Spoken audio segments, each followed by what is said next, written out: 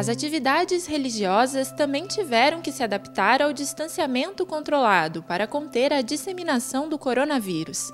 Missas, cultos e serviços religiosos foram liberados para o público nas regiões de bandeira amarela e laranja, mas só com até 25% de ocupação dos locais onde ocorrem as celebrações. Nas bandeiras vermelha e preta, fica proibido o acesso presencial dos fiéis. Os municípios podem aplicar regras que podem ser mais rígidas do que as estaduais.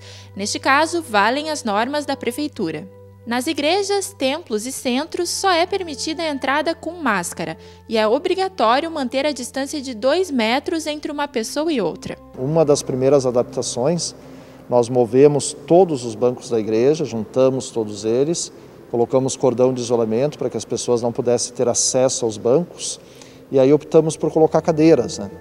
Porque também é muito mais fácil para nós higienizar as cadeiras do que higienizar um banco inteiro. Também colocamos marcações nos bancos, colocando pessoas apenas sentadas nas pontas do banco, colocando ali a dois metros de distância também aqueles que estiverem no mesmo banco. O álcool gel precisa estar disponível logo na entrada dos locais e a higienização das superfícies deve ser constante. Embora as regras do distanciamento não impeçam que as pessoas do grupo de risco estejam presentes nas atividades religiosas, é indicado que elas permaneçam em casa e evitem o contato. A nossa exortação é sempre de que eles não venham.